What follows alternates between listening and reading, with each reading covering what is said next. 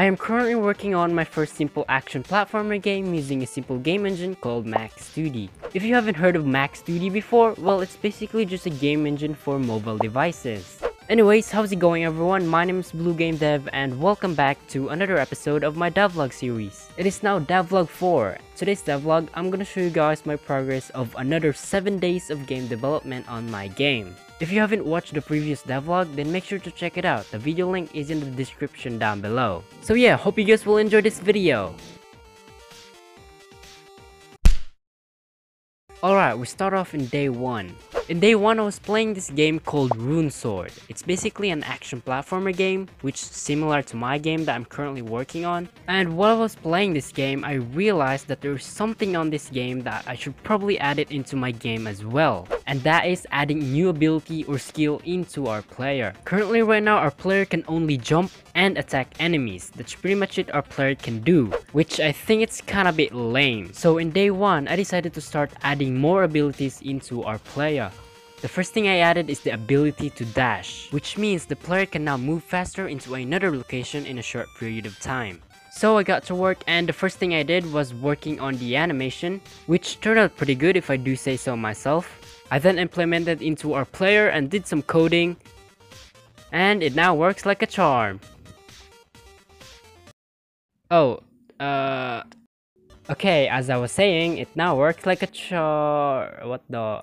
Okay, we have our first problem. So apparently though, if I press this button right here, which basically allows the player to dash, but even though I'm facing on the left side, the player will still dash in the wrong direction, which exactly not how it works. But I came up with a very very simple solution. So first of all, I created a new boolean variable which checks the player if he's facing on the right side or in the left side. So if the player is facing on the right side, then the variable will be true, but if he's facing on the left side, then the variable will be false. So the logic here is pretty pretty simple. If the player presses the dash button and the variable is true, then it's gonna tell the character to move on the right side. Now if the variable is false, which means the player is facing on the left side, and if the player presses the dash button, it will tell the character to move on the left side. And it works like a charm. I also decided to add some smoke particles to make it even more interesting, and I really like how it turned out.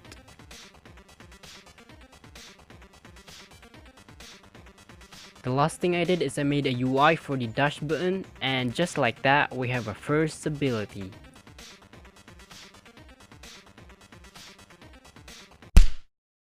Alrighty, it is now day 2. In day 2, I decided to start working on another ability that allows the player to shoot arrows. So I opened up Pixel Art Studios and got to work on working the animation. After that, I then coded the player so that the player can now shoot arrows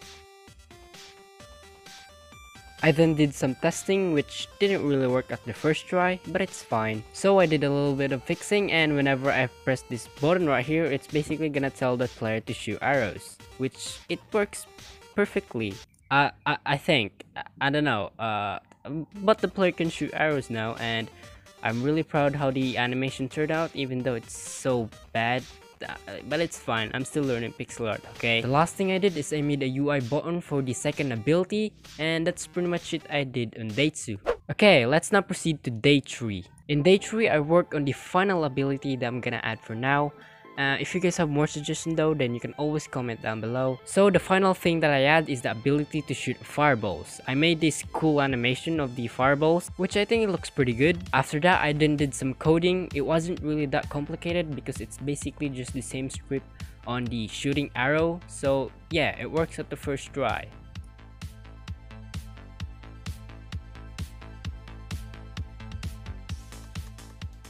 Okay, so whenever I press this thing right here, it's basically gonna tell the player to shoot fireballs, which it looks pretty cool.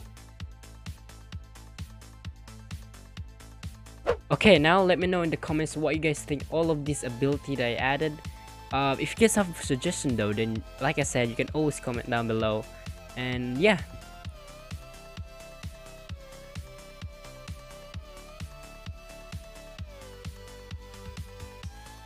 Okay, it is now day 4. In day 4, I realized that having all of these abilities makes the player too OP, which I think it makes the game more easier. So I decided before you can actually use these abilities, you must go ahead and purchase them. So I spent day 4 and day 5 working on the shop system and by the end of day 5 I finally finished the shop system and got it working. So you can purchase these abilities by getting enough coins, you can obtain coins by killing enemies or finding any treasure chests. So once you have enough coins then you can go ahead and buy all of those abilities and use it on your journey. And that's pretty much it I did on day 4 and day 5. Alrighty, it is now day 6. In this day, I decided to start improving the background. Because currently right now, our background is absolutely trash, which is, you know, not good. So in day 6, I decided to try and make a parallax background. A parallax is when a background moves lower than the foreground due to perspective. This effect makes the world look so much better and more realistic.